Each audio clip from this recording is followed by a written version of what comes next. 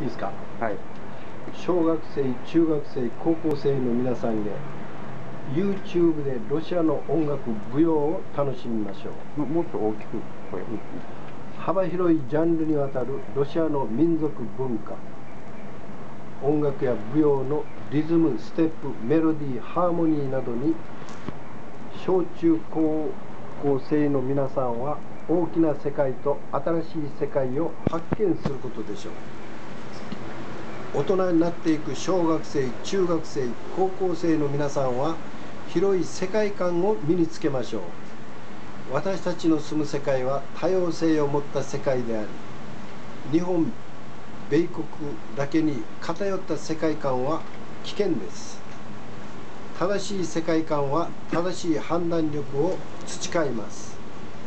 沖縄にはそれが必要不可欠です。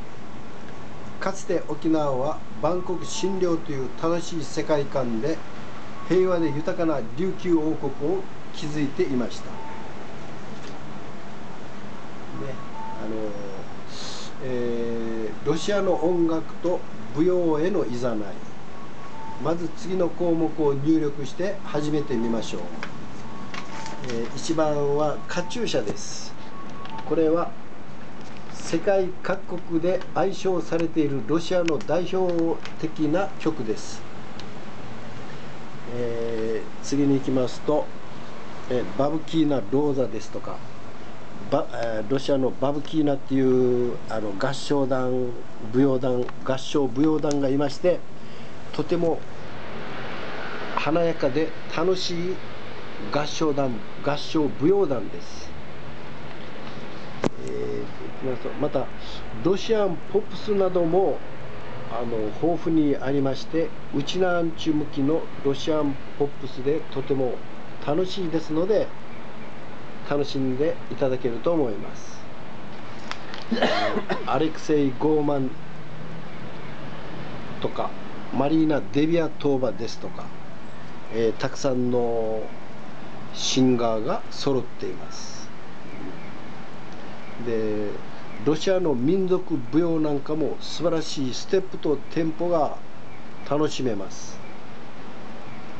中でもイゴール・モイセーエフ・バレエ団という舞踊団は私たちが目を見張るぐらいの素晴らしいエンターテインメントを見せてくれます。ルシアンダンスなんかもとても見応えのある舞踊です。あとは、えーロシアにはコサックという人たちがいましてコサックの子供たちの素晴らしい歌声歌声と合唱なども楽しめます。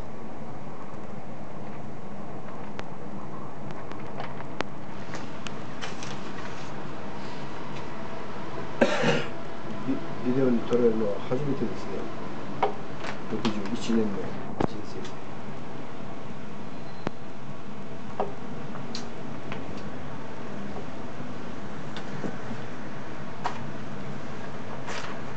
まだ撮ってる？うん、ちょっとまあ消しましょうか。あそうか。あまあね。あのロロシアのエンターテインメントは面白いし楽しいんです。皆さんどうぞ楽しんでください。YouTube で楽しんでください以上。はい以上。はいありがとうございます。